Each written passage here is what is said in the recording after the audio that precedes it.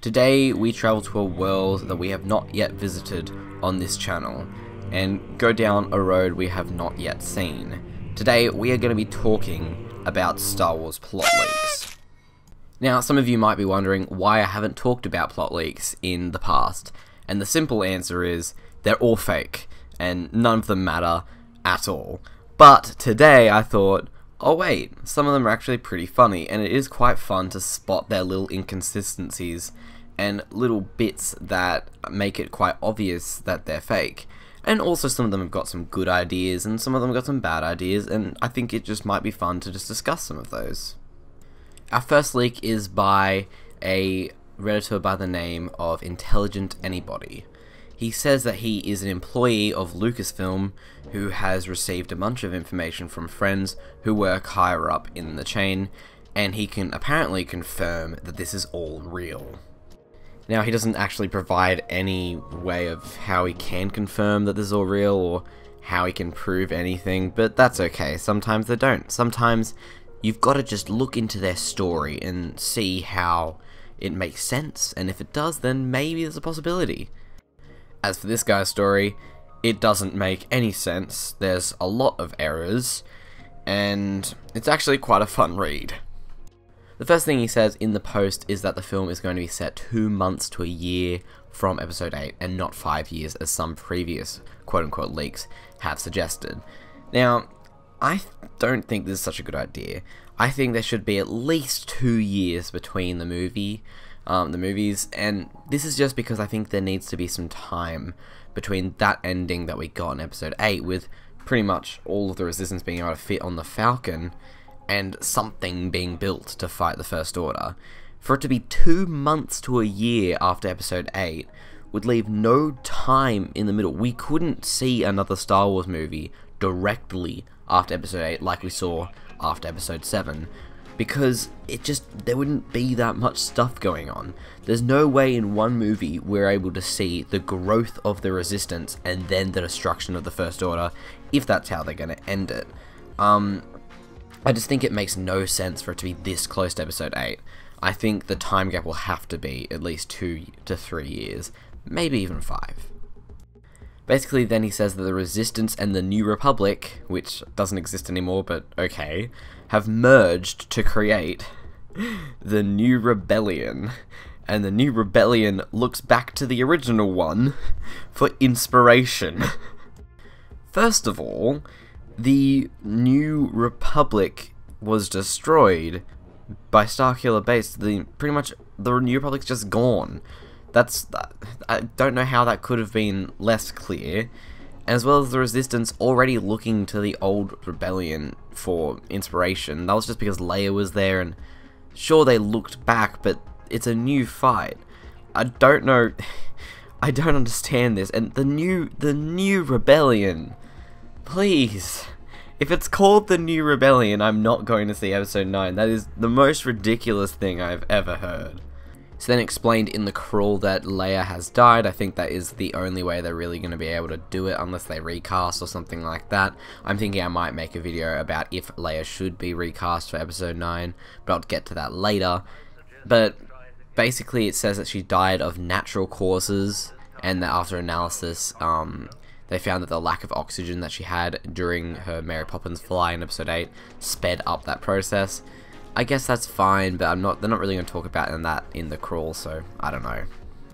This next line in this post is probably my favorite part about the whole thing. I don't know if this is a mistake or...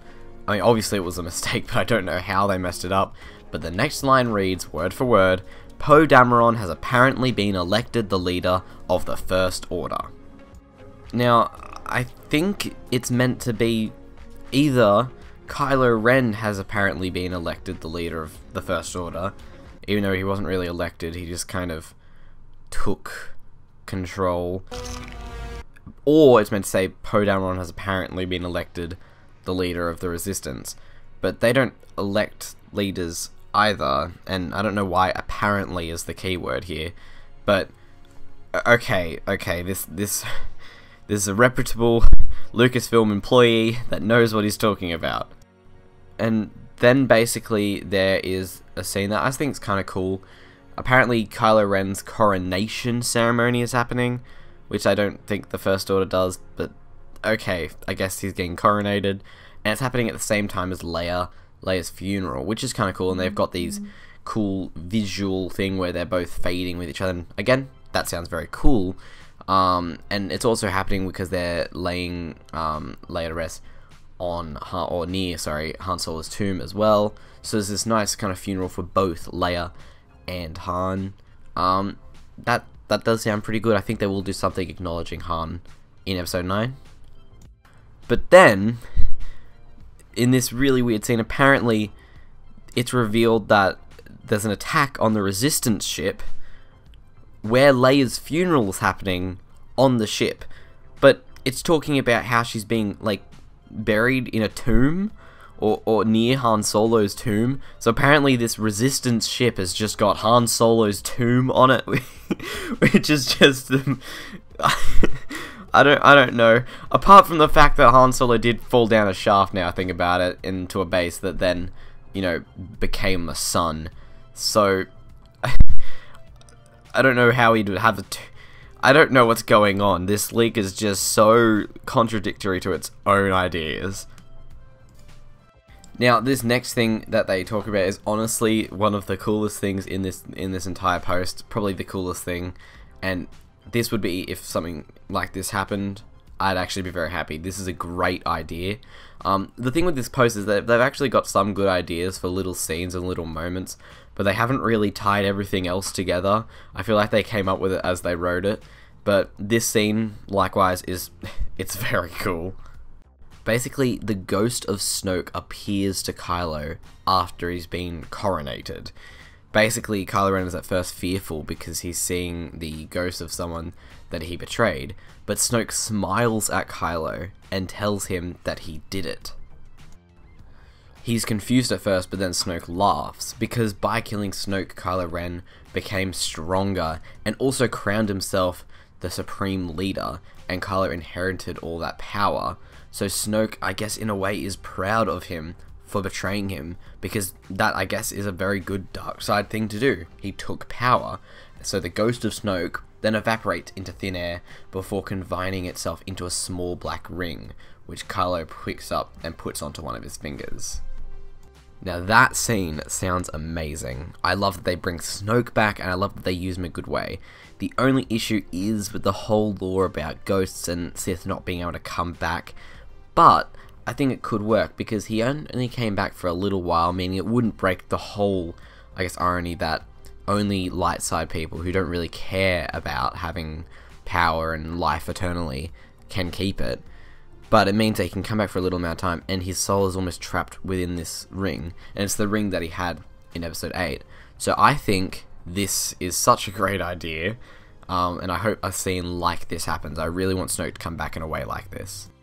As for this post, I'm not going to read the rest of it, because there are some little nuggets of good things, so I think if you do want to read the rest of it, the link is in the description, but I'm not going to read the rest of this because I do need to move on to some other ones.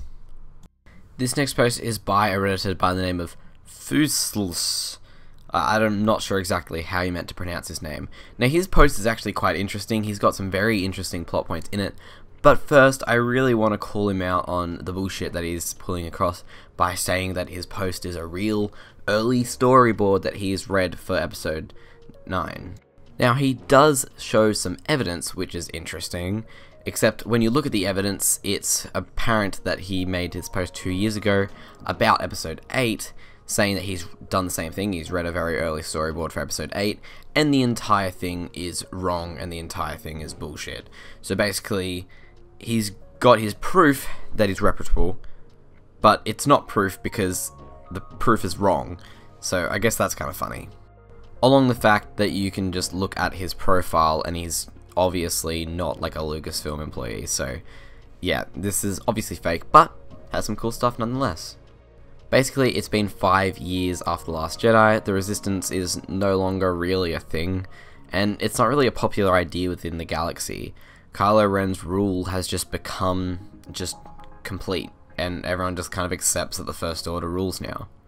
Obviously, our main characters are still holding on to the hope that um, the First Order can be driven out, but at this point it doesn't seem like it's going to happen. But they have a mole within the First Order that has some sort of lead on some planets in the unknown regions. Now these planets have ancient manufacturing stations on them which are powered by the populations of conquered worlds in the unknown regions, and that's where the First Order gets their seemingly just unlimited amount of resources. For them, the plot revolves around liberating these people, which in the end should take down the First Order because they no longer have those resources. And the second plot is Kylo Ren along with the Knights of Ren hunting down the Force users of the galaxy, and many of the Force users of the galaxy find Rey for protection and try to hide from the First Order. So we're basically going to see sort of like a Logan situation where Rey and her group of very like you know young and old um, Force users trying to defend themselves against Kylo Ren and the Knights of Ren. That I find really cool. But then we get into some of the stuff that I find really weird because Kylo Ren and Rey still can apparently do their Force Skype calls, and they can still manifest their presence in front of each other, and it's slowly revealed that they are secretly in love. Ugh. Reylo sucks. I'm kidding, by the way. If they do Reylo right, I have absolutely no reason to not like it. Anyway, the big reveal of the film is that one of Rey's students, I guess, that she's protecting is actually her child, and Kylo Ren gets very angry upon finding this and nearly kills Rey, but then he's last minute saved by Leia. Which, uh, I don't know if that can happen unless they recast Leia, but that's okay. Anyway, the whole themes of the movie is going to be secret love and an empire thriving at a terrible cost. Now, I do like a lot of parts of this. I like the whole Kylo Ren and Knights of Ren hunting people down and Rey trying to protect them and then being completely separate from the Resistance plot where they are trying to take down the First Order by trying to pull their resources from underneath them and also liberate the people that they're using to get those resources. And as for the lore, we're going to see some stuff of the unknown regions and some more ancient things which could lead into something in the future like an Old Republic show or something like that. So I think this could be quite cool, except there are a lot of gaps that need to be filled and a lot of things that need to be smoothed over. As for what I would want out of this movie, really all I want is just a nice conclusion to the saga, because that's what episode 9 is. I don't just want a conclusion to this trilogy, but I want something that will tie together the whole episode 1 to episode 9 story. I want the balance of the force to be found. I want some just just a nice conclusion. What I think could be a actually quite cool ending would be the first order winning, but Kylo Ren steering them more into a balanced direction. They use the dark when they need to, they use the light when they need to, and they have an actually healthy rule. So even though the First Order wins, that's not necessarily a bad thing. And that also ties into episode 8's themes of there not being any good guys or bad guys. But as for my episode 9 plot speculation, we're going to save that for another video, because this video has gone on long enough. Thank you for all of you who have stuck around this long, that means quite a lot to me. If you want to see more videos like this, leave some comments down below of if you want to see more. Um, if you enjoy this content and want to see more coming out shortly, please hit that subscribe button. I'm sorry that videos don't come out as often as they used to. I am quite under the pump when it comes to school and that sort of thing. But thank you for bearing with me. Thank you so much for watching today's video, and I hope you have a great day.